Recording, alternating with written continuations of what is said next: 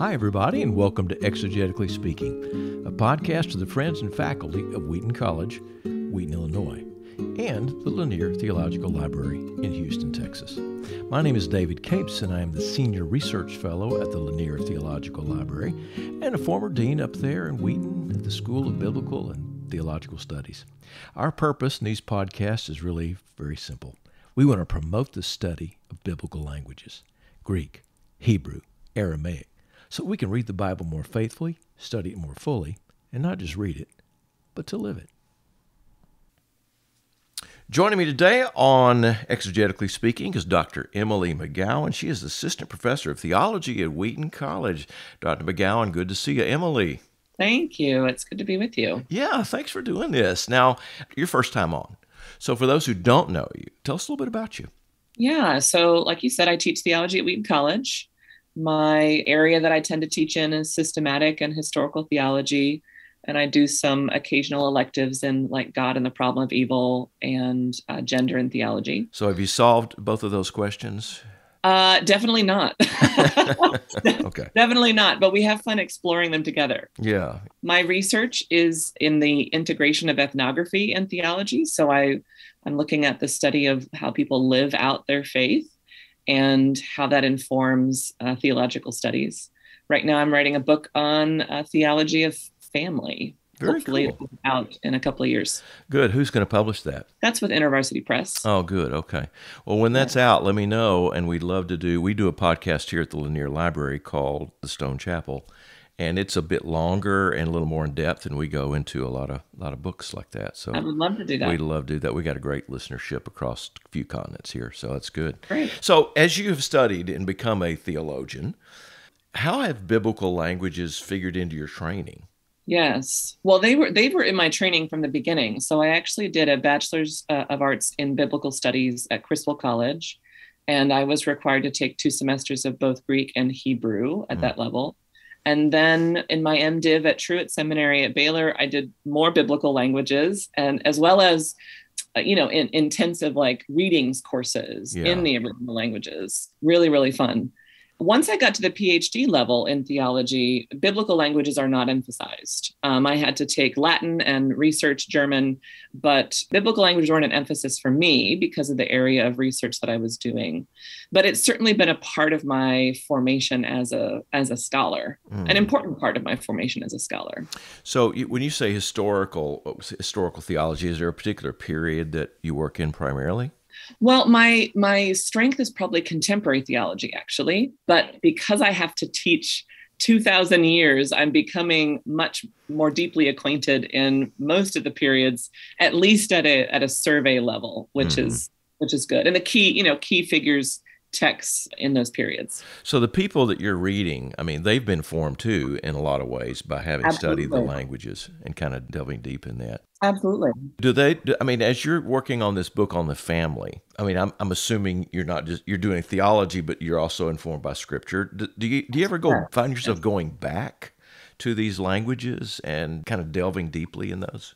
Well, part of I think being a good theologian is recognizing your strengths and your weaknesses. And for me, because I have not kept up proficiency in the biblical languages, it really wouldn't make sense for me to be dealing directly with the text in that way, doing my own like translation and that sort of thing. But that's where it's really important that I have good scholarly resources, trustworthy resources that have done that work for me Mm. and then i can then access you know the the work that others have done which is why even though i'm not necessarily directly translating texts doing syntax and grammar and all that kind of stuff right. that right. i have scholars that i that i trust that i can turn to who have done that work and that i can draw on that because scripture is absolutely essential to what i'm doing my theology is is grounded in that So- Yeah. So the resources that you're looking at and you're trusting are any of those electronic resources, or are those primarily uh, written, published books? So I have to admit, I may be a teensy bit of a Luddite when it comes to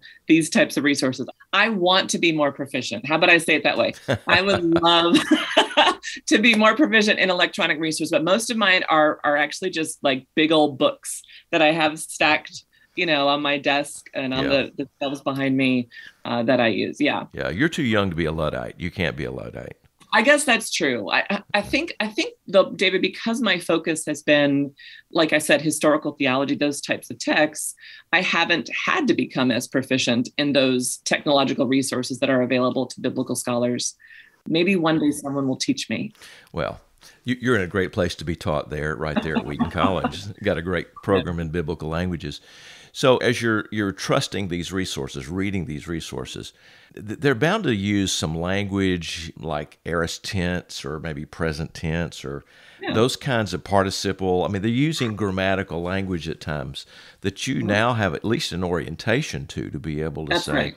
I, I get what they're saying. That's right. And I still have, I mean, I still, maybe this is just because I'm a nerd, but I still have all of my language resources from when I did my undergrad and seminary training so that I can make sure I'm at least fluent enough in the language to, to track what's happening and the theological significance of that sort of uh, technical language. So let's say you're talking to a young woman who wants to be a theologian one day.